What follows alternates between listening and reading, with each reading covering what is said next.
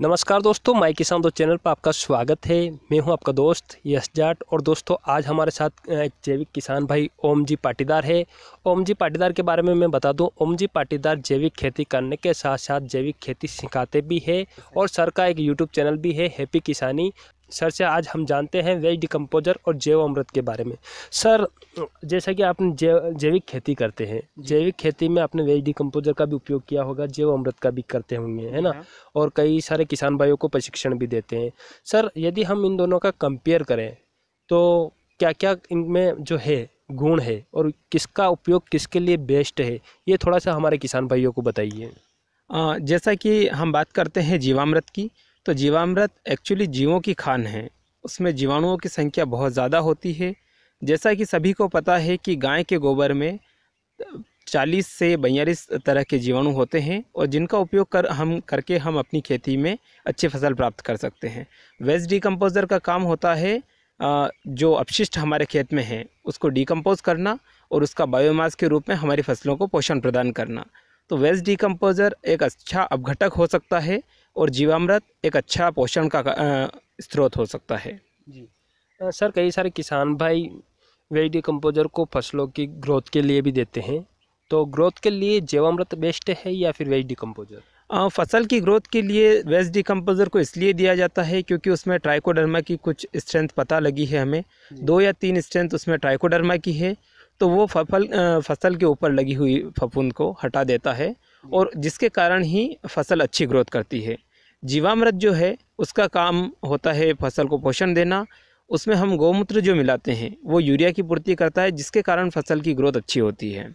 तो जीवामृत अपने जगह एक अपनी एक महत्वपूर्ण भाग रखता है और वेस्ट डिकम्पोज़र डिकम्पोज़र के रूप में अपना एक महत्वपूर्ण भाग रखता है। क्योंकि जो वेस्ट डिकम्पोज़र में जो जीवाणु निकाले गए हैं, वो गाय के गोबर से निकाले गए हैं, उनकी संख्या दो या तीन हैं, जो मुख्य अपघटक के रूप में कार्य करते हैं। उन्हीं का उपयोग अगर हम जीवामृत के साथ में या अलग से भी अगर हम उपयोग करते हैं तो वो बेहतरीन हमारे लिए फ़ायदा होगा। हाँ जैसे कि जैवामृत है और वेज डिकम्पोजर है। इन दोनों में से जैसे कि वेज डिकम्पोजर काफ़ी आसानी से बनाया जा सकता है। तो क्या जैव अमृत को भी आसानी से बनाया जा सकता है? जीवामृत में उपयोग होने वाली सभी वस्तुएँ हमें अपने आसपास से ही मिल जाती है। तो इसमें बहुत ज़्यादा परेशानी की आवश्यकता नहीं है। गाय का गोबर हर किसान के पास होता है गौमूत्र हर किसान के पास होता है जो दालों का जो बेसन है, वो हर किसान के घर में मिल जाता है आसानी से। पेड़ के नीचे की मिट्टी भी हमें आसानी से मिल जाती है। तो ये सारी जो चीज़ें हैं, ये सारी हमें अपने घर या आसपास से ही मिल जाती है। गुड़ हमें मार्केट से लेना होता है, लेकिन वो भी हम सिर्फ़ उस क्वालिटी का लें जो ख़राब हो चुका है, या जिसमें सिर्फ़ मिठास बची हुई है जो खाने लायक ना हो, ताकि किसान भाई अपना खर्चा बचा सकें। और जो गुड़ का खर्चा है वो तो हमें डिकम्पोज़र में भी लगाना है और वही हमें जीवामृत में भी लगाना है। जी।